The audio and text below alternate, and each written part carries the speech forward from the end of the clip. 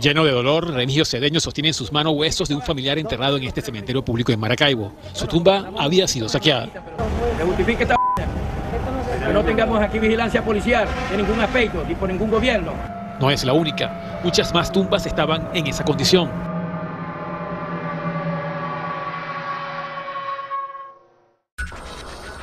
deseándoles bendiciones a todo el pueblo de Dios en general.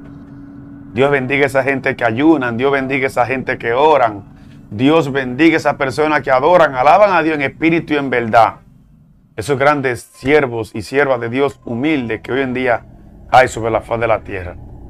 Hermano querido, le enviamos un gran saludo a Aldamari Salazar, colombiana viviendo en España. Dios bendiga Aldamari Salazar. Esos son mis deseos, hermano, de que Dios la bendiga. También yo le invito, hermano, que se dé una cita por nuestro canal de YouTube que se llama Evangelista Willy Pavel. En ese canal de YouTube usted va a poder ver muchas prédicas de mi persona, donde estamos predicando exclusivamente en actividades cristianas. Ahí usted va a ver prédica de cuando fui a El Salvador, va a ver prédica cuando fui a Haití, va a ver prédica de Colombia, va a haber prédica de Ecuador, va a haber prédica también de Cuba, va a haber prédica de República Dominicana. O sea, es un canal que nosotros lo hemos abierto exclusivamente para subir video de cuando yo estoy predicando en alguna actividad evangelística, hermano. Gloria al Señor. Porque detrás de este hombre que usted ve aquí de tiempos finales bíblicos hay un ministerio, hay una responsabilidad, el cual nunca nos descuidamos.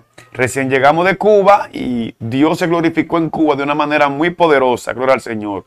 Eh, pronto iré a Cuba otra vez cuando el Señor me lo permita, pero me gustó, hermano. La gente me decía, ¿para qué tú vas a Cuba si en Cuba no hay dinero?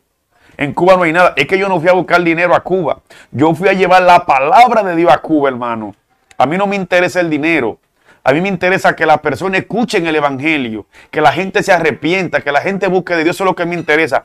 Lo demás, Dios lo pone, eso es añadidura, hermano. Gloria al Señor. Y yo le mando un gran saludo a Raquel, allá en Tesa. Dios te bendiga mucho, Raquel, que también fuiste un medio para que esa misión se lleve a cabo en Cuba. También Inés Valerio Marte fue un canal de bendición también para que esa misión se, se lleve a cabo en Cuba. Gloria al Señor. Hermano querido, yo anoche estuve hablando de varios misterios muy delicados que está aconteciendo en Venezuela. Mucha gente malinterpretó. Yo no dije que toda Venezuela está llena de brujería, señores. Aprendan a escuchar. Yo dije que en Venezuela hay una montaña que le llaman la montaña del sorte. Por allá por el estado de Yaracuy. Yo no dije que todos los venezolanos son brujos. No, hermano, no se ofenda aprenda a escuchar. Hermano, siempre lo he dicho, que en Venezuela hay grandes mujeres de Dios y hombres de Dios. Y que oremos por Venezuela para que Dios tenga misericordia y que oremos por la iglesia en Venezuela, porque en todo lugar Dios tiene su gente. Dios tiene sus siervos y sus siervas que cuida. Y por encima de toda la brujería y la hechicería y el satanismo que haya, la iglesia prevalece, estuve diciendo, hermano. Mi mensaje claro, el que se ofendió fue por ofenderse, pero verdaderamente yo hablo bien claro. Entonces, hermano, gloria al Señor. Por si usted no lo sabía, por si usted no lo sabía, sí, porque también hay que explicárselo de esta manera. En Cuba están los paleros. Y con la llegada de Hugo Chávez en el poder, y Nicolás Maduro, acuérdense que ellos son personas o fueron personas que tuvieron una amistad muy estrecha con Cuba. O sea, una amistad única. Y por eso Cuba y Venezuela trabajaron de la mano, claro, en estas dos últimas décadas. Resulta que los venezolanos iban a Cuba y los cubanos iban a Venezuela. Esta brujería de Cuba pasó a Venezuela porque los venezolanos no sabían esto. ¿El qué? Que en Cuba, hermano, si se muere una persona que tuvo grandes virtudes, fue una, fue una persona talentosa, fue una persona que fue ícono en el pueblo, una persona que se destacó, pues esperan que el cadáver se descomponga y van y le quitan el cráneo y lo llevan donde cualquier palero de esto, o palomayombe como le llaman, porque se dice que las virtudes que tenía esa persona que falleció, el talento que tenía esa persona que falleció, cuando llevan el cráneo donde un brujo hay un tipo de encantamiento que dice que las virtudes que tenía ese muerto se le pega a un vivo. ¿Y qué hace mucha gente?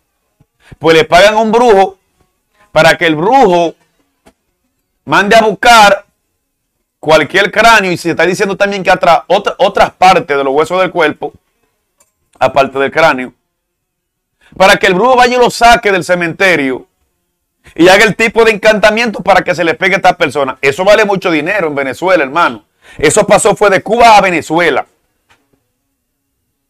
¿Por qué? Porque según la historia, desde antes de Chávez nunca había acontecido eso. Profanar tumba, mire esa foto, hermano, cómo rompen la tumba para sacar huesos y así hacer hechicería y hacer diablura.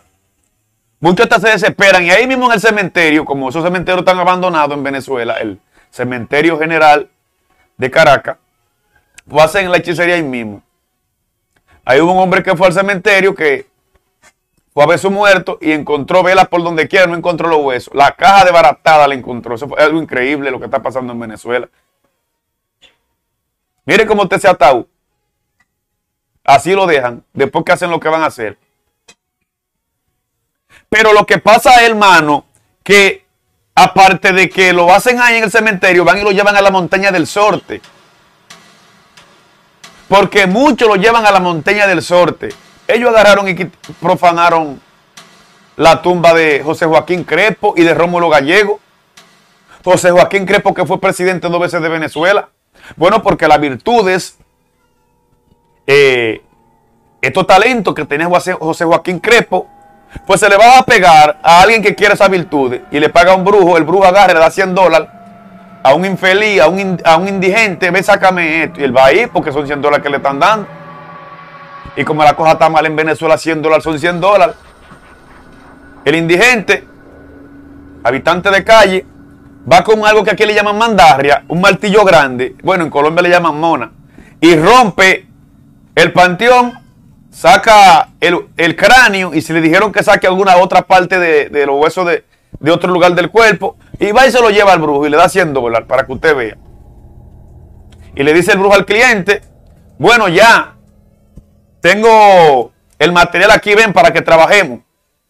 Y así que están trabajando. Eso es para que usted vea la falta de respeto que hay en Venezuela. Y es que no hay en Venezuela quien le ponga freno a esos demonios. En Venezuela hace falta siete o ocho campañas en los estadios, en varios estados de Venezuela, que sacuda los cimientos de Venezuela para que los brujos se tengan que recoger. Una falta de respeto que tiene que aquí en República Dominicana no se lo permitimos a los brujos. Usted sabía que República Dominicana fue invadido por los haitianos y como la religión oficial de Haití es el vudú y tienen unos cuantos demonios que invocan los africanos, pues todo eso se estaba pasando para acá, para República Dominicana y Puerto Rico. Y gracias a los pentecostales, gracias al pentecostés, acá le hemos puesto freno a los brujos. Gracias al Pentecostés en Puerto Rico se les puso freno a los brujos. Aquí en Puerto Rico y República Dominicana no van a hacer lo que le da su gana a los brujos. Tal vez para Haití. Tal vez para Haití. Pero aquí, en Puerto Rico, República Dominicana, San Martín y una cuanta isla de acá, los brujos no hacen lo que le dan su gana, ni el presidente tampoco. Tiene que ponerse a raya con nosotros los pentecostales. Por eso que hasta muchos católicos muchos testigos de, Jehová, muchos adventistas, mucha gente de otras denominaciones cristianas le dan gracias al Pentecostés, que, son, que fuimos los que no le pusimos al frente a esa gente y echarlo hacia atrás en el nombre de Jesús. Entonces, hermano, gloria al Señor. En Venezuela hay mucha gente de Dios, hay muchos hombres de Dios. Pero tienen que levantarse porque yo vi un potencial muy fuerte en los evangelistas de Venezuela. Yo vi, hermano, poder de Dios en los evangelistas de Venezuela. Yo no sé que tienen miedo o qué, pero yo sé que esa gente tiene potencia del reino. Son dinamitas espiritual. Tienen que agarrarle a hacer campaña. Por donde quiera. Gloria al Señor. Porque algo pasará en la montaña del sol, hermano.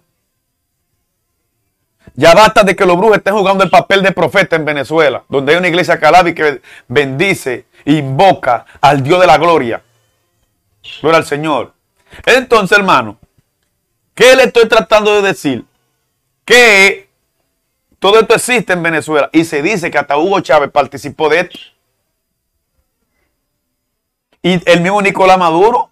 Ahora, yo no sé si en estos últimos tiempos lo ha hecho porque como dije, supuestamente está involucrado con, con lo evangélico y tú sabes que los evangélicos pentecostales somos candela. Yo no sé, yo no sé si es por buscar votos que lo está haciendo, pero en estos últimos meses él no ha bregado con eso. Pero si antes Nicolás Maduro también bregaba con eso.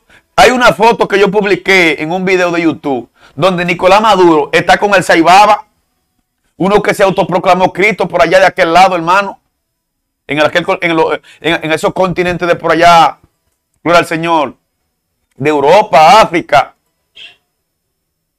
Asia, para allá, por esos lugares. Nicolás Maduro está con el Saibaba, honrándolo. Yo no dudo. Y él también saltó en un video que hablando de la montaña del Sol, de Yaracuí, de María Leonza. Porque la tres potencias, hermano, está en Venezuela, el indio Guacaipuro, María Leonza y el negro Felipe. Y esos espíritus inmundos se pasan para Colombia. Yo estuve predicando en toda la costa colombiana, hermano. Y la guerra que yo tenía era una guerra muy fuerte. En toda la campaña que hay gente endemoniado. En Magangué, fui a Magangué, Colombia. Eso era gente endemoniado por donde quiera. Para que usted vea cómo es la cosa. Estuve en Cartagena. Estuve en, Antioquia. Estuve en, la mayoría de todos esos pueblos costeños predicando. Y eso fue un trabajo fuerte que yo tuve que hacer. Yo paraba 24 horas bajo ayuno y oración para poder enfrentar el reto que me venía en esa campaña, porque yo sabía. Yo visitaba hogares que me decían, venga para que haga una oración aquí en el balcón de mi casa y que la gente endemoniada. Para que usted vea cómo está la cosa en Colombia. Por causa de la montaña del sol en Venezuela. Se dice que la montaña del sol es la oficina central de Satanás. Aparte de que en Colombia también están trabajando con un demonio llamado San Gregorio Hernández. Increíble eso. Ahí hay muchos videos. Usted puede entrar al canal de YouTube que yo le dije a usted para que usted vea muchos videos de liberación. Y eso sí que ore antes de ver un video de eso. Porque son videos fuertes y eso, eso fueron los que se pudieron grabar. Porque hubo manifestaciones demoníacas que no se grabó, que si eso hubiera salido para las redes sociales, eso hubiera provocado un escándalo, hermano. Demonio, yo vi demonio en un lugar llamado La Poza Sucre, en Colombia, en el lugar, eh, por allá por donde le llaman La Mojana, la región de La Mojana. Un demonio saltaba, míreme, altísimo, se elevaba así, elevado, y volví y caía. Algo es increíble. Gloria al Señor. Fue entonces, hermano, vengo a hacerle este video para que los venezolanos entiendan que yo amo a mi hermano venezolano. Y que yo creo que hay una iglesia llena del poder de Dios allá. Y yo sé que, aunque Venezuela esté lleno de brujería y muchos políticos estén en la brujería, hay hombres y hay mujeres de Dios, yo lo creo. Ahora, yo lo que digo es que tienen que seguir haciendo un trabajo muy fuerte en Venezuela. Los hombres de Dios allá, las mujeres de Dios. Y yo te aseguro a ti que muchos políticos que están yendo a la montaña del Sorte caerán. Caerán porque caerán. Porque se dice que eso fue después de la llegada de Hugo, Chávez. Que aconteció toda esta, toda esta diablura en Venezuela, hermano. Gloria al Señor. Pues le dejo este video sin perder más tiempo. Ya usted sabe, pasé por aquí a darle esta información. Dios le bendiga, Dios le guarde. Mi mayor respeto para nuestro hermano venezolano y sigamos orando por Venezuela, que hay muchos hombres y muchas mujeres de Dios allá. Bye.